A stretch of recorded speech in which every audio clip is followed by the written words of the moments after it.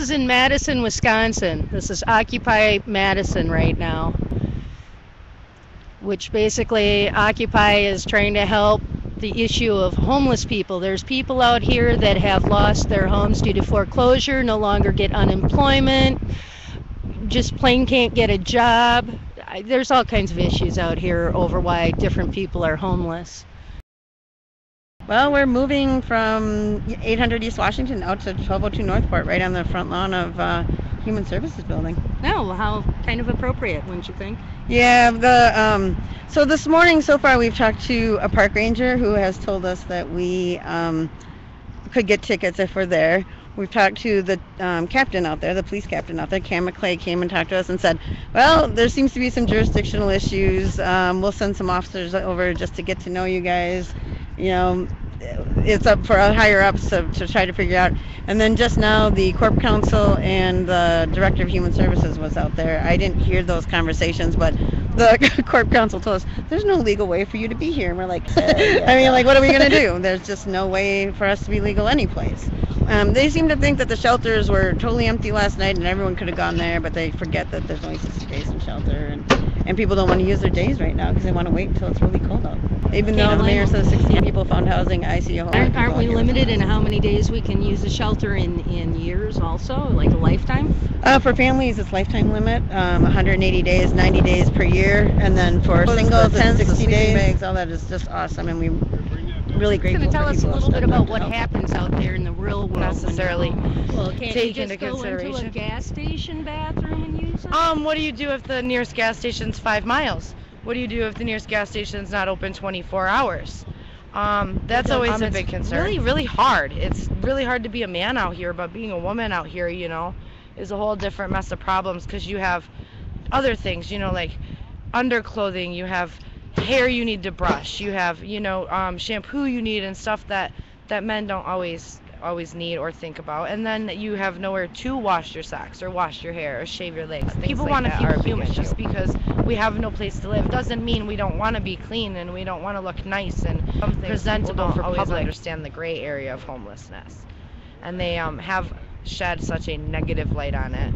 And it's nice that, you know, um, people understand and especially understand a woman's aspect on this because if I didn't, I mean, and I'm in a relationship with my boyfriend, and I don't, I, I don't know how I would ever survive out here without a little help. Month rolls around and you're on the street, and nobody cares, and it's it's worse for women. I my heart goes out to all the, these women because I'm, I mean, I'm consider myself a strong woman, and like I said, I have my boyfriend, but a lot of these women don't.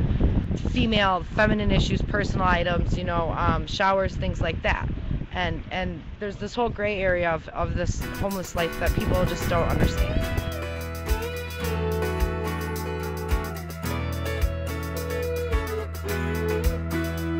It's greed that keeps the working class just barely hanging on. You remember us, we're the ones that do all the work you profit from.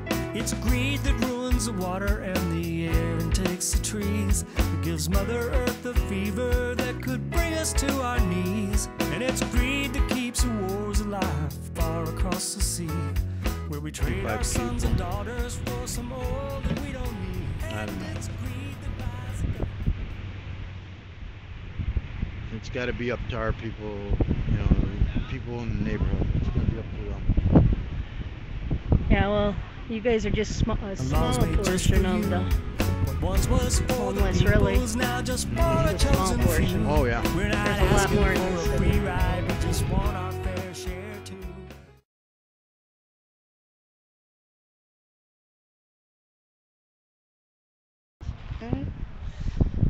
So what are you gonna do if they don't let you stay here? I don't know.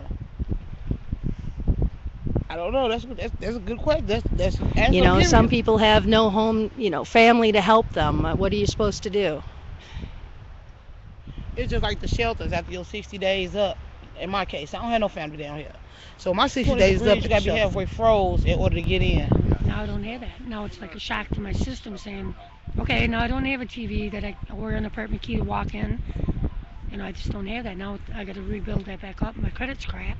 Doesn't help that my husband and me have an eviction on our record. That makes it hard to get an apartment. Yes. So the things that others might overlook and take for granted, we are very appreciative. Yeah, they've been visited by the park ranger, the uh, law enforcement, lawyers.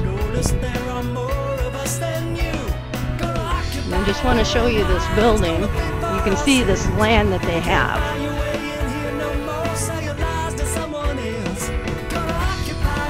They've got this huge, huge lawn.